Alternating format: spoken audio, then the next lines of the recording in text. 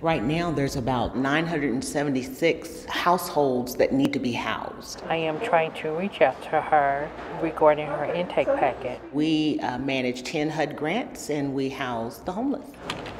If you've gone from any level of stability to homelessness, there's some barriers in place there. That's one of the reasons why we're uh, addressing that during this year's symposium. The Landlord Symposium is just our way of letting landlords know that there's housing needed, that it's guaranteed money, HUD backed money. We're here for the landlords if they should have any questions about the process. Okay. Right now, our focus, and one of the reasons we're having the Landlord Symposium in October, is we're launching an emergency shelter grant COVID program.